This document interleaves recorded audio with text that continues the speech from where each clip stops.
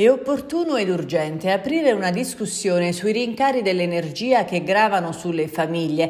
Per questa ragione abbiamo richiesto, assieme ai colleghi di minoranza Italia Viva, Movimento 5 Stelle e Prospettive Lucane, un consiglio straordinario sul tema. Lo dichiarano i consiglieri del Partito Democratico Cifarelli e Pittella, per i quali non si può ignorare quanto di grave sta accadendo, ma è doveroso rintracciare ogni soluzione possibile per evitare di mettere in ginocchio bilanci bilanci familiari e generare instabilità diffusa nell'imprenditoria lucana. La Regione potrebbe, dicono, emettere futures sulle future vendite di gas o sulle stesse royalties e rimborsare gli aumenti in bolletta delle imprese a fronte di piani di contenimento dei consumi energetici interni e con bandi a sportello rapidamente implementabili, meccanismo competitivo che bypasserebbe senza alcuna obiezione è l'accusa di aiuto di Stato.